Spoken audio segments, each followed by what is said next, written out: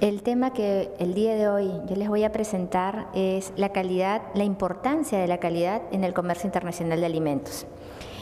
Esta, esta charla es la primera de lo que nosotros llamamos las jornadas de la calidad, que ya la estamos haciendo por más de seis años consecutivos y que no es más que una serie de seminarios que se van a dar a partir de este miércoles hasta el último miércoles de octubre en este mismo horario y vamos a desarrollar diversas temáticas relativas a las exigencias de calidad.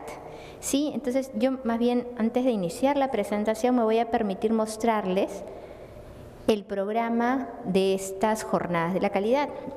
El día de hoy vamos a iniciar con un marco bastante introductorio de lo que implican las exigencias, saber claramente a qué se le llama calidad, qué es lo que reconocen hoy como calidad los consumidores, qué tan variadas pueden ser las exigencias de calidad y qué es lo que sobre todo está reconociendo, eh, están reconociendo los principales mercados de destino como elementos diferenciadores. Eh, seguidamente viene un bloque, ya de varios miércoles seguidos, sobre todo lo que son las exigencias que tienen que cumplir los exportadores Mm, de normativas del país de origen. Entonces, si particularmente estamos hablando de alimentos, tienen que saber que dependiendo del tipo de producto o alimento que tengan, deben de cumplir con las exigencias de las autoridades sanitarias competentes. En el caso de productos frescos es el SENASA. Y vamos a tener una charla del SENASA que te va a hablar de todo lo que tú debes de cumplir previamente a la exportación por parte del SENASA, que tendrás que gestionar tu certificado fitosanitario, posiblemente tu certificado de inocuidad, cuánto tiempo te está demorando, inclusive todas las últimas modificaciones que se puedan estar dando, entre ellas algunas nuevas exigencias para los exportadores para el mercado de Estados Unidos. Pero bueno, se aprovecha esa instancia que vamos a tener en la autoridad sanitaria. Lo mismo hacemos con los productos procesados, que porque vamos a tener una presentación de DIGESA, y del SANIPES, que es la autoridad sanitaria en temas pesqueros. Entonces, eh, eh, cuando yo les hablo de calidad, ¿no? de jornadas de la calidad, no solamente les estoy hablando de esto voluntario que los pueda diferenciar, sino en el caso de los alimentos, cuando nosotros hablamos de inocuidad, también sobreentendemos que la inocuidad es el elemento, el pilar base para luego sobre eso trabajar calidad. Y la inocuidad, entiéndase como la, este, la condición de que el alimento no va a causar daño a la salud de las personas. Y esto es un tema obligatorio y no negociable, y que es regulado justamente por las autoridades sanitarias. Luego de eso vamos a desarrollar todo un módulo sobre exigencias obligaciones, no son exigencias solo del comprador, sino, sino regulatorias, obligatorias, que tiene cada uno de los principales mercados de destino. Entonces vamos a contar con especialistas que nos van a decir cuáles son las principales exigencias para exportar a Estados Unidos, a Europa, a la China, al Japón, a Corea del Sur, al Brasil, a Rusia, a Chile. Terminando ese bloque de todo lo que es regulatorio, no negociable, ya vamos a empezar con, estos, eh, eh, con otras exigencias de cara a los clientes y que reconocen mucho, como son las certificaciones de la familia ISO, ¿no? quienes seguramente son bastante conocidas las normas ISO. ¿no? De las más populares son la 9001, que tiene que ver con gestión de calidad, la 22000, que tiene que ver con temas de inocuidad en los alimentos, la 26000, que te habla de responsabilidad social, eh, la 14000 en temas ambientales, y así hay N normas internacionales este, que tiene la ISO. Y hablaremos un poquito de ellas, ¿no? se va personalizando un poco dependiendo un poco del público y obviamente las consultas que ustedes puedan hacer. Hablamos del HACCP, de la ISO 22000, de las buenas prácticas agrícolas, de, y de temas de sostenibilidad, porque hoy, e, e, este año, particularmente en las jornadas de la calidad, hay un tema importante que vienen reconociendo cada vez más los consumidores y que son eh, exigencias relativas a lo que es la sostenibilidad, el, que el producto se haya desarrollado en condiciones que no afecte ni el medio ambiente, ni genere un impacto o efectos sociales, cumplimiento de aspectos de responsabilidad social. Hoy eh, no es que sea una moda, esto es una tendencia, y la tendencia hacia un consumidor más responsable. Que se comienza a detectar también ya en nuestro, en nuestro país. No es, no es un tema únicamente en los países, digamos, desarrollados, pero sí eh, hay una mayor propensión a reconocer o que al elemento, eh, que la decisión de compra no esté únicamente basada en un tema de costo, sino también esté basada en un tema de diferenciación. Y entre estos elementos de diferenciación, pues eh, se reconoce mucho lo que es la medición de la huella de carbono, se les hablará de qué es la huella, cómo se certifica, quiénes la certifican, qué plus me da eso, si es que me lo da el comercio justo, las certificaciones religiosas, ¿no? la kosher para el mercado de las personas que cumpliendo su religión de los judíos tienen que consumir alimentos kosher. Eh, los que son musulmanes cumpliendo su religión deben consumir únicamente alimentos halal.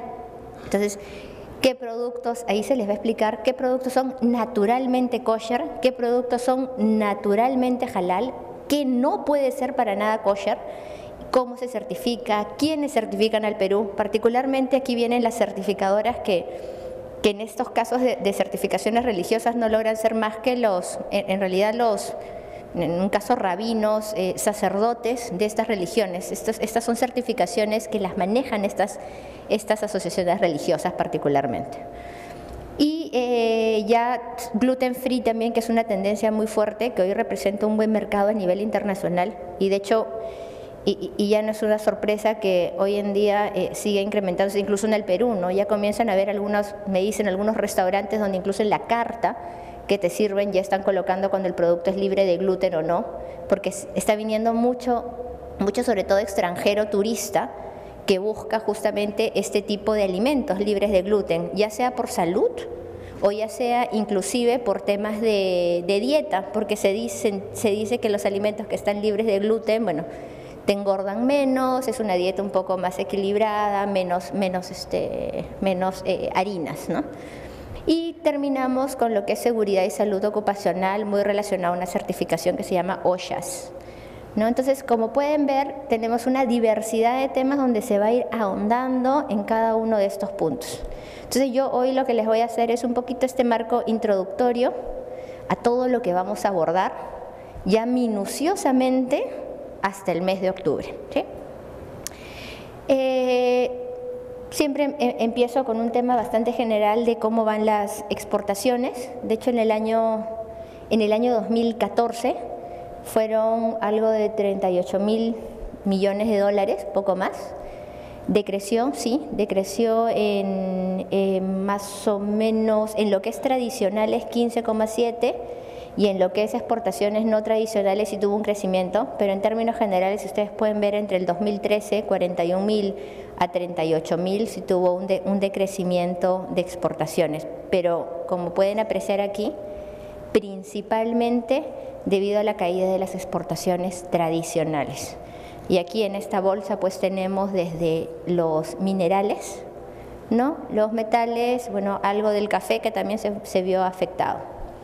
Sin embargo, los tradicionales, que son los que particularmente tienen este valor agregado, ¿no? tienen estos, estos puntos a su favor, pues han tenido un crecimiento, todavía un dinamismo y un crecimiento de 5%. Eh, Esto responde pues a varias estrategias, ¿no? desde la estrategia de, desarrollo, de, potenciar o fomentar el desarrollo de mayor cantidad de acuerdos comerciales a nivel internacional que nos permitan entrar con, mayores oportunidades, con mayores ventajas. Una de ellas y la más reconocida pues es el tema de la disminución de los aranceles. ¿no? Entrar en varios productos con un arancel cero nos vuelve en términos de costos eh, un poco más competitivos, pero no debe ser el único elemento, por supuesto, o sea, y ese es un primer un, punto de partida, pero la diferenciación eh, no la va a dar el costo del producto o el precio del producto, la diferenciación del producto la va a dar la calidad, la innovación, la diferenciación que ustedes le coloquen al producto. El mundo nos ve, cada vez nos ve más, de hecho eh, ya comenzamos a hacer líderes a liderar las exportaciones de algunos productos. Y aquí me permito mencionarles sobre todo algunos del sector de agro, del sector de alimentos. Somos primeros aún exportadores de espárrago fresco, los primeros productores son los chinos, pero los primeros exportadores aún seguimos, seguimos siendo nosotros. Somos segundos exportadores de palta. El dinamismo de la palta y de la uva de mesa son de los dos productos que han tenido un, mayor crecimiento, de hecho incluso casi exponencial en el caso de la uva en los últimos cinco años, una expansión tremenda en lo que son áreas de cultivo y obviamente eh, más del, más del 80-90% del producto se va hacia la exportación. Sextos a nivel de exportación de café, el café todavía lo exportamos como café verde, por eso es un producto que está dentro del grupo de los tradicionales, pero ya se está trabajando un poco más en lo que es café tostado, molido, pues dándole un valor agregado y certificaciones de calidad. Eh, tenemos nosotros, que no es suficiente, pero igual tenemos algunos elementos a nuestro favor, que es bueno que se sepan reconocer en el caso de los alimentos. Y esto le llamamos ventajas comparativas que no son competitivas, ese es otro tema. Las ventajas comparativas son aquellas naturales que tenemos producto del lugar donde estamos en el mundo. ¿no? Y nuestra ubicación en el hemisferio sur, cerca de la línea ecuatorial y con costa, nos da ciertas, eh, ciertos beneficios. Desde, eh, desde el sol, una intensa radiación solar producto de estar cerca de la línea ecuatorial que favorece la fotosíntesis y se entiende que incluso en el caso de algunos cultivos como en el espárrago en Ica puede tener eh, una productividad mucho mayor que la que puede tener el espárrago que se cultiva en China. Entonces ya son condiciones naturales que uno tiene que saber reconocer para poder explotar. Es un invernadero natural en las costas, no tenemos, ni, no tenemos lluvias extremas, si se habrán podido dar cuenta, o sea, aquí estamos todavía, incluso con estos temas del cambio climático, hay un sol radiante y estamos en otoño y a finales de mes estamos entrando al invierno. Pero, eh, bueno, más allá de estas condiciones del cambio climático, generalmente no hemos tenido pues climas extremos, no, no es que tenemos un, un, invierno con grados que lleguen a cero, ni, veranos de 40 grados como los puede tener España o otros países en Europa. Entonces e, es un clima bastante equilibrado que favorece a varios cultivos. Es un país megadiverso, 84 de 117 ecosistemas del mundo, 28 de 32 climas del mundo, 650 especies de fruta, muchas especies nativas, 1.408 especies de plantas medicinales. Entonces, esta bio, mega biodiversidad pues nos permite, y los diferentes pisos altitudinales que tenemos, poder cultivar diferentes productos, e incluso eh, productos nuevos que, que, podríamos por las propiedades nutricionales y diversos estudios que lo pueden ir demostrando, eh, ir eh, llevando una nueva cartera de alimentos dentro de lo que se habla mucho que son los superfoods. ¿Han oído hablar de los superfoods? Sí, algunos los veo y algunos dudosos. Bueno, los superfoods vienen a ser aquellos alimentos, eh, algo así como los funcionales, estos alimentos que además tienen como composición ciertas características que son mucho más saludables, ¿no? Como podría decirles el, la maca, el camu camu por el fuerte contenido de vitamina C que pueda tener, el sachainchi por los altos niveles de omega 3 que pueda tener. ¿no? Entonces son los llamados en español superalimentos que están entrando hoy a un, a, un nicho de mercado que está creciendo bastante porque las personas conforme en estas generaciones están mucho más conscientes y más informadas de lo que están consumiendo la gente lee más. Y más aún porque ahora, bueno, ya es casi masivo el, consumo, el uso de los celulares, el internet, cualquier duda que nosotros tengamos, pues inmediatamente estamos entrando a buscadores pues para tener mayor información. Entonces, tenemos información a la mano. Entonces, el consumidor está mucho más consciente en promedio de lo que puede estar ingiriendo. Y estos superfoods están entrando a un nicho, como les mencionaba, que está, que está creciendo grandemente. Y Perú particularmente tiene una oferta de superfoods muy amplia. Porque como les mencionaba, tenemos productos de nuestra biodiversidad que tienen ciertas características eh, eh, importantes y diferenciadas. El tema, nuevamente les digo, ¿no? del aceite, del sachainche en sí en sus diferentes presentaciones, eh, el yacón mismo, la quinoa, la cañigua, ¿no? Entonces tenemos una serie de productos que ya tienen ciertas este, propiedades que los hacen pues este, diferentes. Pero ahí no queda todo en realidad, no es porque tengamos ya ventajas comparativas, porque seamos un país mega biodiverso, pues ya tenemos, ya tenemos la venta asegurada de nuestros productos. Naturalmente tenemos que tener claro que la competencia es el mundo y así como nosotros podemos tener ventajas comparativas, probablemente otros países también las tengan. Y no solo comparativas, sino también un mayor dinamismo de apoyo de diversas instituciones que puedan potenciar a la industria o una infraestructura nacional mucho más este, desarrollada, pues que permite una mayor movilización o unos costos diferentes, mayor cantidad de operadores logísticos, en fin, que puedan tener otros elementos que las hagan también más competitivos. Entonces nosotros tenemos que siempre estar preparados y tenemos que estar preparados pensando en competir no con el vecino, vecino me refiero acá peruano, sino competir con el mundo, siempre pensando en un tema de que mi producto debe de ser de los tops, de calidad, una calidad mundial, ¿sí? Entonces, tenemos nosotros pues bastantes desafíos. Hay mayor competencia, dependiendo del producto tendremos que ver con quiénes competimos. Ayer estaba visitando una empresa de, de snacks de Sachainchi. Esta empresa hacía eh, como el, es como la semilla tostada, ¿sí? Y, caramelizada. Pues bueno, me decían, ok, tu producto como tal no tiene competencia, digamos, por los niveles de omega, sin embargo, si entra a un mercado que son todos los snacks.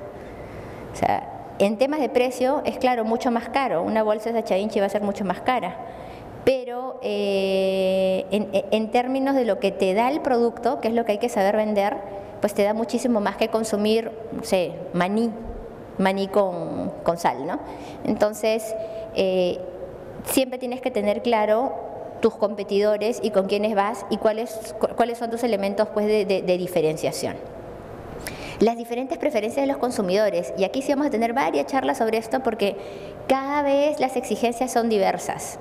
Y, un poco les, digo a ustedes que quizás puedan en algún momento tomarse unos minutos para pensar que antes que me preocupaba de un producto y ahora qué veo de un producto. ¿no? Hoy, se, hoy hay una mayor difusión de algo que siempre ha tenido que ser, que, por darles un ejemplo aquí en el país, ¿no? de, de, de, asegurarse que tenga un registro sanitario un producto, porque mínimamente pues te va a decir siquiera que el producto ha sido evaluado o, ya ha sido pues testeado, ¿no?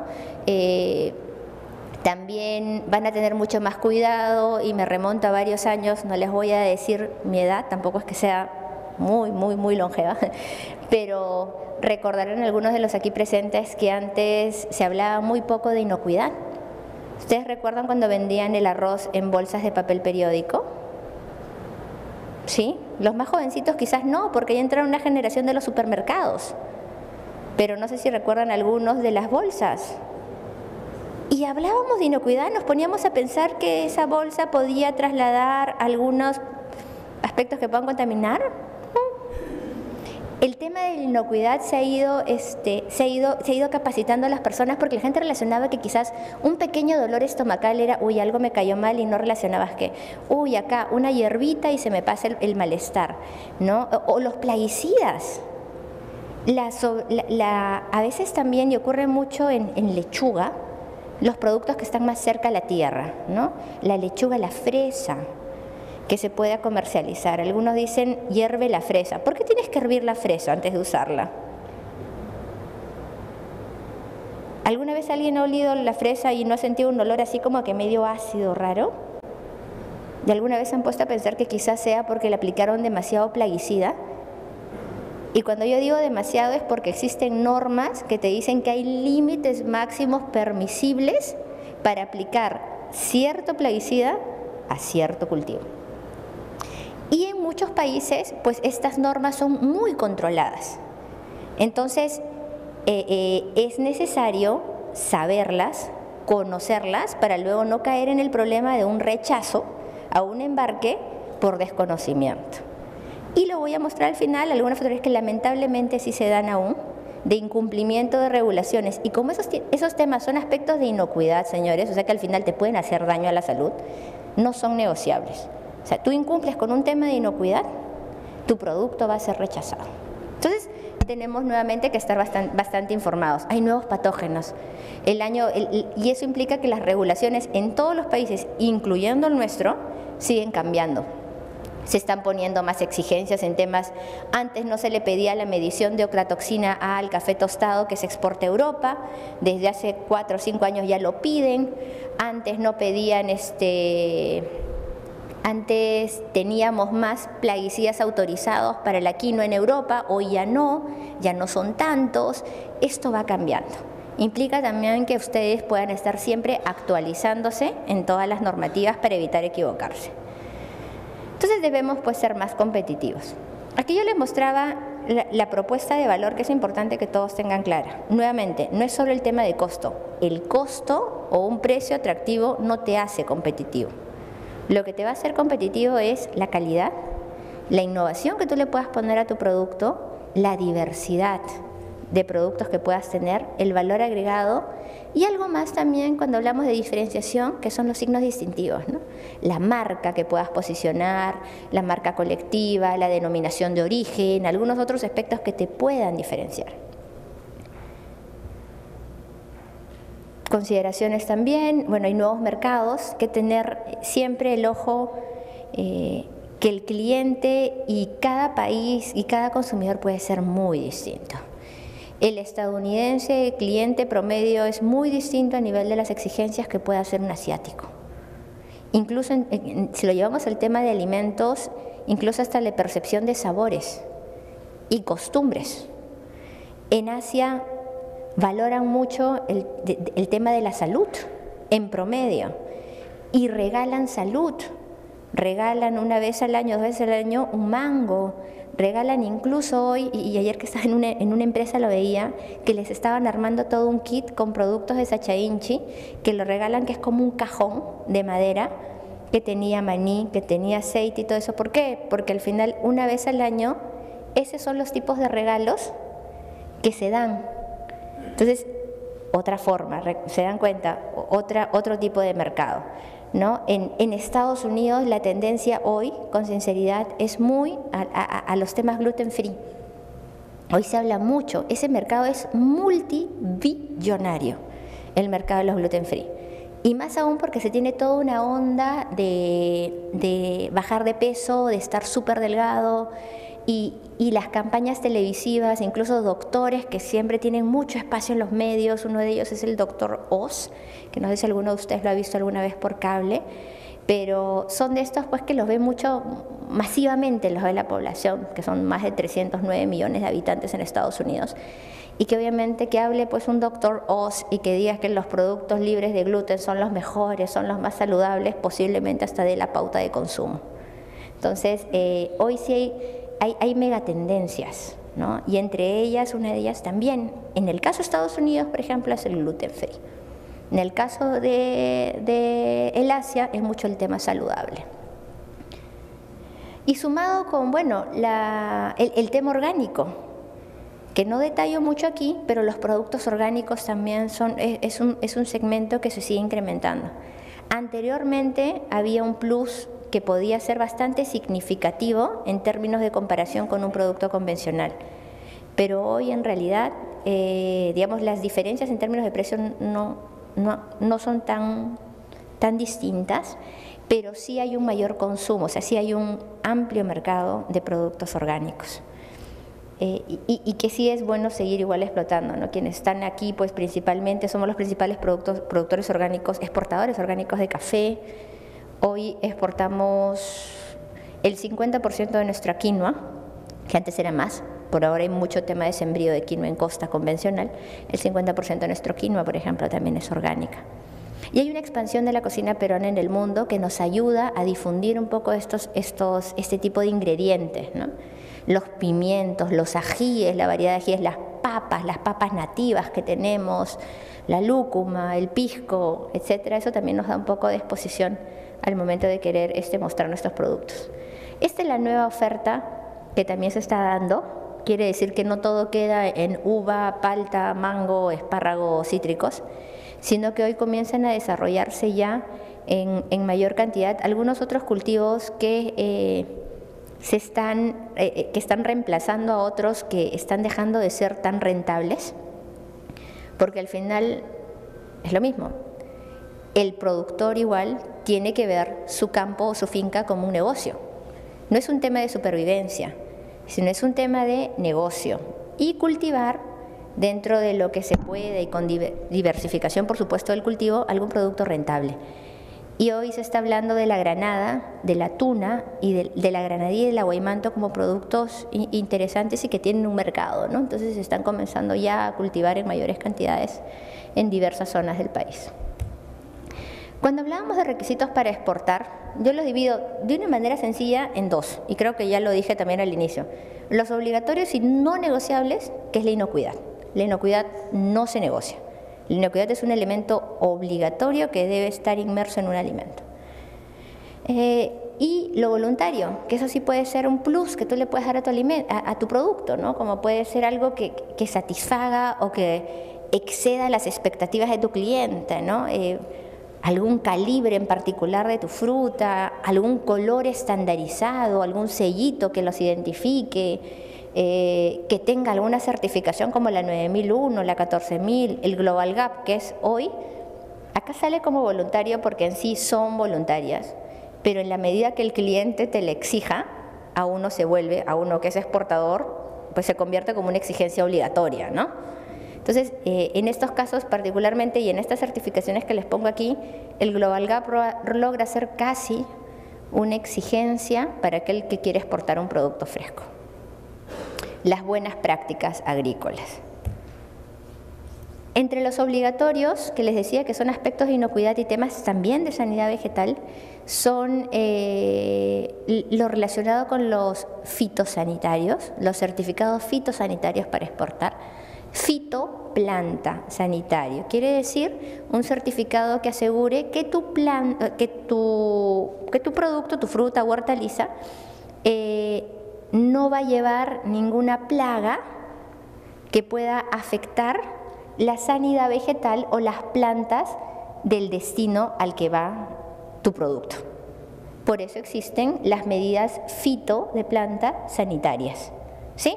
Me, me, me entender. Muy bien. Entonces, para eso pues existen los benditos certificados fitosanitarios. ¿Y dónde los gestionan? en Senasa, efectivamente. Todo lo que sea producto fresco se gestiona en Senasa. Otro requisito obligatorio, y no solo para alimentos, este sí requisito es para cualquier exportación, sean manufacturas, sean textiles, sea cualquiera, es el embalaje de madera. El embalaje de madera por obligación, porque esta es una medida fitosanitaria, debe ser tratado térmicamente. Cuando les hablan de embalaje para exportación, su embalaje debe de tener un sellito del SENASA, en algún lado de la parihuela que diga, eh, dice SENASA, bueno, y hay un tema que significa que es tratado térmicamente. Eso es una obligación. Ustedes no pueden tener pallets para exportación que no sean tratados térmicamente. Es una normativa general. Eh, los límites máximos de residuos de plaguicidas, lo que les comentaba, tienen que estar sumamente informados, y aquí nuevamente lo dejo para que quede claro, cada país puede tener sus propios límites máximos de residuos por cultivo. Entonces, si ustedes van a exportar una vez uva a Bélgica, tendrán que averiguar cuáles son los plaguicidas que se pueden utilizar y cuál es el límite máximo y que no necesariamente van a ser los mismos que si ustedes van a exportar a Estados Unidos. Entonces tienen que eh, saber que esto podría ser diferente. Inspección de aduana, que es algo general, cumplir con las regulaciones de acceso, el etiquetado de los alimentos, cada país tiene normativas bastante puntuales en etiquetado, no exceder los límites de metales pesados. Eh, Estados Unidos tiene una normativa muy particular de bioterrorismo que se abordará cuando veamos el tema de la, charla de regulaciones de acceso para Estados Unidos, y las normas de origen en términos generales, pues porque cuando tenemos un tratado de libre comercio, algún acuerdo comercial, nosotros tenemos que gestionar el certificado de origen pues para demostrar que el producto es oriundo del país y puede hacerse del beneficio del, arancel disminuido, ¿no? ya sea cero o bueno, disminuido algún valor. Lo fito, les mencionaba el tema de las plantas, ¿no? este, el, el fito sanitario se gestiona en SENASA eh, existen medidas, lo del embalaje de madera, y en algunos casos y algunos países inclusive te exigen no solo el fitosanitario, sino que tú le hagas un tratamiento cuarentenario a tu producto en origen, antes de que salga, o en destino. Y estos ejemplos muy particulares tenemos sobre todo para el mercado de Estados Unidos. El mango, cuando se exporta, tiene que ser tratado eh, en agua caliente, en origen. Eso es una obligación. Eh, los cítricos y la uva, que va a ir a Estados Unidos, debe de ir a cierta temperatura en frío que va entre un grado a dos o algo así en el contenedor que va y por 15 días tiene que estar en esas condiciones. Entonces, hay ciertos incluso adicionalmente tratamientos cuarentenarios que te puede pedir el país de destino. Pero lo interesante es que esta información ustedes la, pueden obtener fácilmente de portales como este. En el caso de Estados Unidos tienen este portal que se llama FAVIR, ¿no? Fruits and Vegetables Import Requirements, donde ustedes seleccionan Perú como país y van a tener información de qué productos frescos son los únicos que pueden ingresar a Estados Unidos. Entonces, si ustedes me preguntan, no sé, un producto como, mm, a ver, un producto súper extraño. Podría, buscar si aquí en esta lista está. Y si no está en esta lista, señores, no se puede exportar como producto fresco, porque esta es la lista de todos los productos frescos. Y e inclusive te figura eh, el, puerto de entrada. Algunos productos pueden entrar por todos los puertos en Estados Unidos y algunos solamente por algunos, por, por algunas zonas.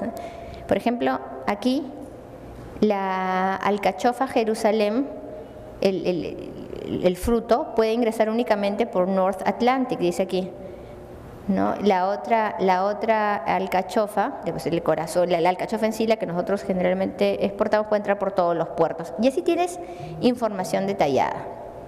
Estos son los tratamientos cuarentenarios que les mencionaba, tratamiento hidrotérmico para el mango, este es de una planta en Piura, que tienen que hacer toda esta infraestructura para colocar sus, sus, sus, jabas en calor, por cierto, en agua caliente por cierto, por cierto tiempo, estas son las de cítricos que les están midiendo la temperatura en frío que tienen que tener.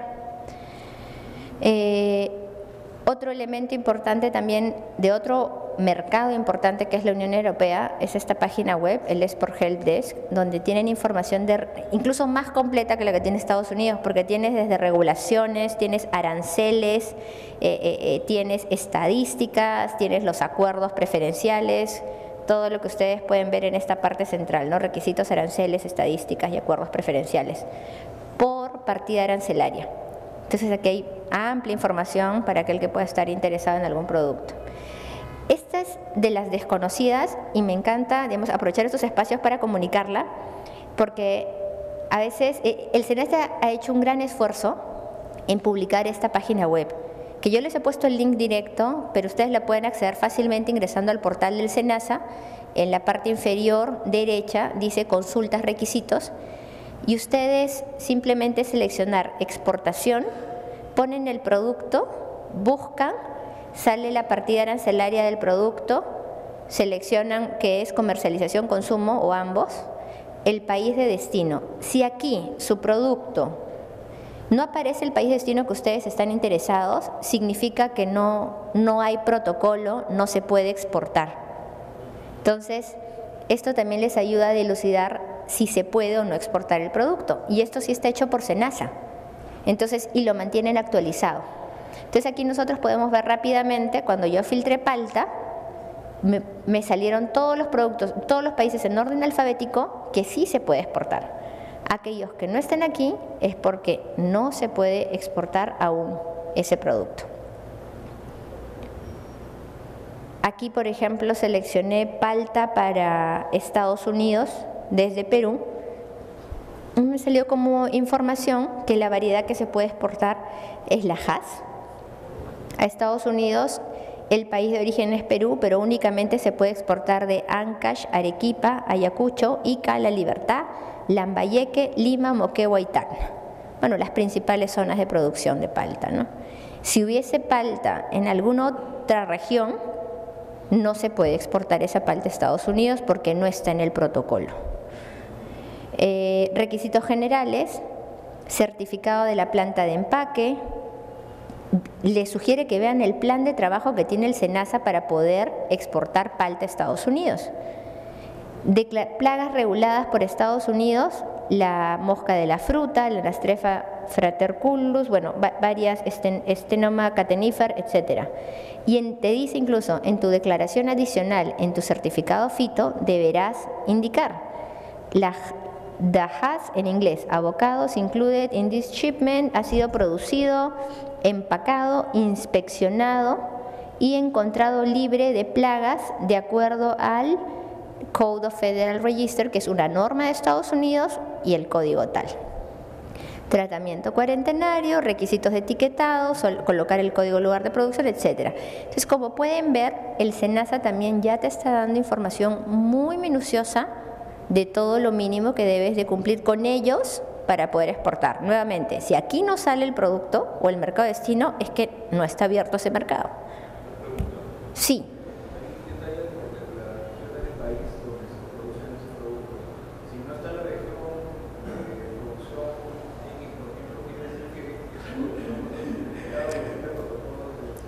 Significa que al momento que se ha eh, acordado el protocolo fitosanitario con el país de destino, eh, no se o sea, solamente e, e, esa región no fue acotada como zona de producción autorizada. Entonces, lo que se está manejando, por ejemplo, y eso me permite hablar un poquito de cítricos, en el caso de cítricos es muy parecido. Se, tienen, se tenían solamente ciertas regiones priorizadas, pero ha comenzado a haber mayor producción en otras regiones fuera de, de las cuatro o cinco que están priorizadas, y lo que es SENAS está gestionando, y yo creo que ya está en la parte final, si es que ya no lo han aprobado recién, es eh, que más bien hacer una modificación a ese acuerdo para que puedan ampliar en, todas las, en, todo el Perú. Pero nuevamente, lo que figura acá es lo que se acordó dentro del protocolo que firmaron en su momento eh, SENASA y su homólogo en Estados Unidos, que en este caso es SAFIS. Significa, eh, no, significa que son las únicas zonas que el SENASA reconoce como zonas que están vigiladas y que efectivamente han hecho una medición de que están estas plagas y que con este tratamiento las pueden controlar. son, zonas donde ellos sí manejan información, tienen este, todo un sistema establecido, ¿no? Para, porque la autoridad sanitaria de destino te va a pedir o te va seguramente haciendo seguimiento a que tienes un control, te va a pedir desde producción, control de las plagas, que ahí se están mencionando. Sí.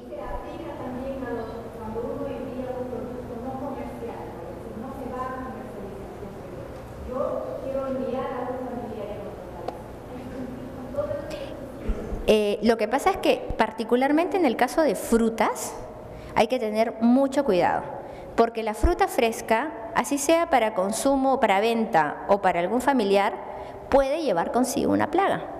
Por eso es que si se dan cuenta, o sea, la plaga no, no, no diferencia entre si va a ser para familiar o si va a ser para venta. Entonces, por eso es que los países se vuelven muy, muy rigurosos en el control de no llevar ciertas frutas que para ellos consideran que el país de origen pueda tener cierta plaga. En este caso, uno no puede llevarse un kilito de palta en la maleta para Estados Unidos. No podría. Eh, es peligroso. Normativamente diría no se puede porque es como que las zonas, incluso en el mismo Perú, ¿no? hay zonas libres de mosca de la fruta, entre ellas el sur del país. Cuando alguien ha entrado por carretera en Arequipa debe ver que seguramente entra alguien de Senasa y comienza a vigilar que qué frutas tiene y no lo hace por molestar, lo hace en realidad porque tiene que proteger que esa zona ha sido declarada zona libre de mosca de la fruta. Entonces, es igual, lo ves ahí y en, los países también. ¿no? Una última pregunta para continuar. Sí.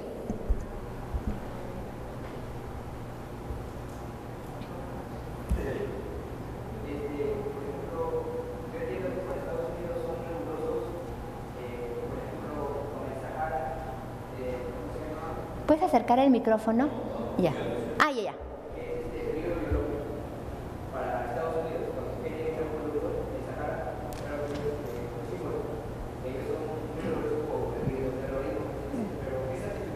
Debería cumplir como para a que acepten el producto para poder consumirlo en Estados Unidos, allá, al lugar de exportación.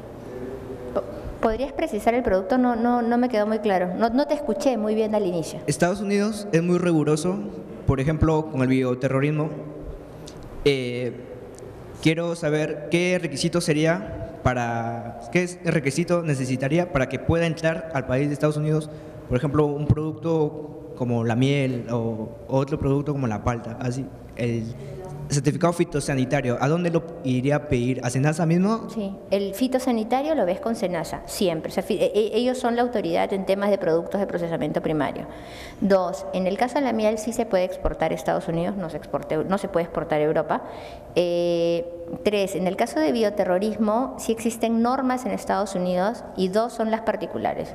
Tener el registro de tu instalación alimentaria y notificar previamente el alimento que vas a exportar. ¿Cómo hacerlo? Todo es online, pero eh, vamos a tener justamente, minuciosamente, cómo completar eso en la charla que tenemos sobre registro de acceso a Estados Unidos. Pero son los dos puntos principales. Registro sanitario, perdón, eh, Food Facility, registro de la instalación alimenticia y la notificación previa de alimentos, que son los dos puntos para todos. Y la gestionan por ahí, dijeron FDA, efectivamente. Eso, eso es parte de competencia de la FDA. LMRs, lo hablamos, los límites máximos de residuos de plaguicidas, ¿no? Los plaguicidas, qué importante saber qué puedo aplicar y cómo. Hoy, lamentablemente, tenemos reportes, que algunos de ustedes tendrán conocimiento seguramente, o quizás todos, de varios embarques que están teniendo problemas por incumplir las normativas de plaguicidas. En productos tan emblemáticos hoy como pueden ser la quinoa, como puede ser la uva de mesa. Entonces, que tener cuidado, esta información es bien importante que ustedes la tengan. ¿Dónde pueden acceder a esta información? Nosotros tenemos dos portales, uno es el que está en la misma página web de PromPerú, que de hecho tiene información parcial ya de algunos productos con los LMRs para algunos mercados. Estos son todos los productos que tenemos cargados en nuestro sistema y estos son todos los países. Y otra opción que ya es yo diría, eh, casi abarca el 95% de todos los, los productos y 100% de todos los países, que es una iniciativa estadounidense, que es el Global Emerald Database, donde ustedes gratuitamente se crean un password y tienen acceso gratuito a información por país, porque están todos los países del mundo, de cuáles son los LMRs por cultivo. La única dificultad ocurre cuando ya tenemos partidas bolsa, y ahí sí hay que hacer una repregunta como para ver si se está reconociendo, digamos, a todo el grupo de los que están dentro de esa partida bolsa. Pero en general, si tienen una partida arancelaria puntual, ustedes van a tener la información aquí. E, este sería, yo sugiero, el, mejor referente. ¿no? Como pueden ver aquí, este es cómo ingresas a la, cuando ya ingresas a la página web te creas tu clave, pones el commodity en inglés, si quieres algún pesticida en particular o si no seleccionas Select All para que te haga la búsqueda de todos los pesticidas permitidos para tu cultivo y tu país de destino. Y los países de destino, como les digo, están, están todo el mundo. Y eh, bueno, esta es la parte, nuevamente como les decía, obligatoria. Y la parte voluntaria, las normas internacionales, privadas, ¿no? que, ya les, les comentaba, ¿no? esta acá es de kosher, este es halal de los musulmanes, este es de responsabilidad social, ese 8000, eh, USD Organic, es la certificación orgánica que da Estados Unidos, este y este son de comercio justo, Global Gap tiene que ver con buenas prácticas agrícolas, SQF con, con, tendría que ver con HACCP ISO 22000, la 9001, la 14000, todos los galones que les puedan poner al producto, en pocas palabras, y que pueda diferenciarlo, ¿no? Eh, y esto lo voy a pasar un poquito rápido. Em, esto responde lo que les presento aquí, un poco que si bien las empresas tienen que cumplir con las exigencias que te piden los mercados de destino, las obligatorias, las voluntarias, que para uno se vuelven obligatorias al final, eh, nosotros también debemos de manejar a nivel país todo un sistema o una infraestructura que soporte a las empresas que quieren exportar para poder cumplir con esas exigencias de calidad. ¿Y a qué me refiero? Eso lo llamamos Sistema Nacional de Calidad. Y un Sistema Nacional de Calidad eh, significa que si tú quieres cumplir con aspectos de calidad, para la manzana, para el durazno, etcétera, debieran existir especificaciones técnicas, primero que te puedan decir a qué le llamas calidad al producto y, en un idioma común, o sea, algo, algo estandarizado, mínimo, que te pueda decir a qué llamamos calidad, ¿no? Y, eso se da en las normas técnicas peruanas que existen casi 5.000 normas, 4.500 normas hoy eh, desarrolladas eh, en el Perú. Necesitamos metrología, un sistema metrológico bueno que no solamente funcione en Lima, sino a nivel descentralizado, porque es necesario para tomar medidas, porque no controlas nada si no lo mides, que efectivamente tus equipos de medición pues estén calibrados, porque si no están calibrados tus equipos, de nada te sirve hacer mediciones. Y esto tiene que ver con la metrología. La acreditación tiene que ver con un sistema que cualquier organismo que te evalúe conformidad, por se llama organismos de evaluación de la conformidad, sean las certificadoras, sean los laboratorios con los métodos de ensayo que te realicen, también debe haber un ente que los regule para poder decir que ellos están trabajando también apropiadamente y la metodología, la forma que están trabajando, el personal con el que están contando para hacer los análisis es idóneo, se llama el sistema de acreditación, porque estas organizaciones deben ser acreditadas. Y hoy nuestro organismo nacional de acreditación es el INACAL, el Instituto Nacional de la Calidad. Antes, hasta el año pasado era INDECOPI. A partir de este año es el INACAL. Y gestión me refiero a justamente los organismos de evaluación de la conformidad, las certificadoras, los laboratorios, que sean los idóneos y que no únicamente estén en Lima, sino que puedan estar en varias partes del Perú, porque en todo el Perú se producen diversas productos. Esto es un poquito la, cómo estamos. Esta fue una toma del año 2011, pero refleja un poco a nivel del Sistema Nacional de Calidad que todavía tenemos una ruta por recorrer. Eh, es, mientras más sólido el Sistema Nacional de Calidad, las empresas tienen mayores condiciones para acceder a este sistema y asegurar la calidad de sus productos. Una cosa es que ustedes puedan estar en Cusco y tener un laboratorio que les pueda hacer todos los análisis de pesticidas, de contaminantes, etcétera, a que tengan que enviarlo al extranjero sumándole más costos. Otra cosa es que tengan alguna certificadora que puedan contratar localmente y no que tengan que recurrir a una en el extranjero. Generar las capacidades en nuestro país. Y aquí, bueno, se refleja un poco que todavía pues tenemos muchas normas por desarrollar, son 4.000 y parece bastante, pero cuando vemos Estados Unidos y vemos 83.000, digo, Dios mío, ¿qué tan normalizado dices, no? Pero sí, pues todo se normaliza, las sillas, el, podio, las pizarras, todo, todo se normaliza. Eh, un elemento importante que les decía también, que es una debilidad que tiene el país aún, es la innovación. Y se puede ver reflejada en este reporte que se tuvo el 2012 de avances de la competitividad comparándonos con dos países también importantes, Malasia, muy emergente, ¿no? Chile también, donde vemos que eh, la mayor debilidad, en este caso Perú, eh, es el tema de la innovación. ¿no? Y este es un elemento importante que dispara, este, es un elemento propulsor del desarrollo, ¿no? la innovación. Entonces, eh, tenemos pues algunos desafíos todavía por desarrollar. El índice de competitividad, bueno, Lima sigue por, por varias razones liderando este índice de competitividad, bueno, es una referencia.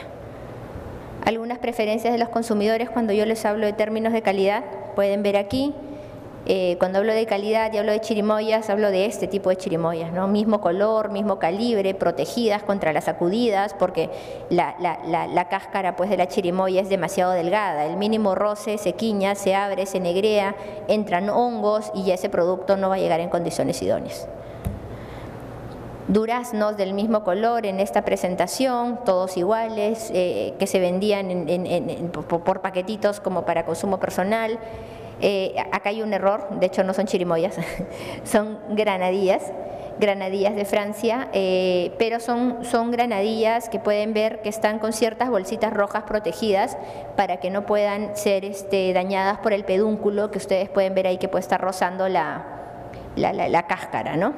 Una cáscara brillosita, uniforme, orgánico, que es una, tendencia que sigue creciendo. Ya lo vemos en algunos supermercados aquí y tienditas, cada vez hay más tiendas ¿no? de estos productos en varios lugares valor agregado que hay que darle, les decía, los elementos de diferenciación. ¿no? Esta es una quinoa, eh, leche, leche, de, leche de quinoa, quinoa milk, desarrollada por Bolivia, quinoa shure, ¿no? como el pediasure, quinoa shure, también, que este es un producto colombiano. Esto lo pudimos ver en Estados Unidos, eh, macarrones de, quinoa, quinoa pasta de quinoa, eh, tenemos bueno, la, Red Maca Powder, harina de, harina de maca roja, eh, con diversas certificaciones que la pueden diferenciar, orgánico, no GMO, vegano, para, es gluten free, certificación kosher. Elementos de diferenciación, pasta de quinoa. Aquí este, me pareció curioso colocar esta fotografía porque me sorprendió saber que en, que en Estados Unidos cultivan maíz morado y de hecho ellos se abastecían a esta empresa estadounidense que se llama Sun, Sun algo Purple Corn, eh, Suntana Purple Corn. Ellos producen en Estados Unidos, pero es un maíz que les sale mucho más chiquito, e importan también algo del Perú. ¿no? Lúcuma, Sachainchi, estas fotos fueron tomadas en todo un pabellón que se llama eh, Superfoods. Como les decía, Perú en realidad tiene una oferta de superfoods tremenda y que hay que saberla diferenciar, ¿no? O sea, el tema gluten, el tema kosher, el tema orgánico, este, no GMO es, o genéticamente modificados son temas que suman. La maca igual. Y esto es lo, esto es lo que debemos pues evitar, ¿no? Debemos evitar estas comparaciones, ¿no? esto definitivamente, y luego de lo que yo les he hablado de la inocuidad, ¿ustedes creen que este producto eh, podría ser inocuo? Está en la tierra, la foto completa vi un perrito alrededor. El perrito huele la humedad que hace. ¿Tiene condiciones idóneas como para asegurar inocuidad? No. Miren cómo está la java, cómo estarán los... Uno que ni siquiera aparecen tomates porque no es uniforme el color, no es uniforme el tamaño, posiblemente ni la madurez. Eh, eh, la, madera es, es, este, es este, porosa, absorbe humedad, ¿cómo podrán estar de machucados pues los tomates de abajo? Entonces al final no trabajas con calidad y tú mismo afectas porque tienes luego que rematar eso o regalarlo, ¿no? O sea, ya perdiste, pues, o sea, ya, no hiciste, no, no, no, por no asegurar la calidad, ¿no? Esto es otro mercado, una caja ideal para que pueda correr el aire, ¿no? Pues no se pueda humedecer el producto. Y obviamente tampoco es tan alta como la caja de madera.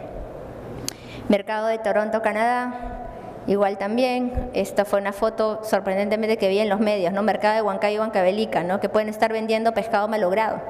O sea, estaban vendiendo pescado malogrado. El pescado, o sea, definitivamente no puede aguantar mucho tiempo sin estar, sin estar en condiciones de refrigeración. Y esto se refleja pues en rechazos.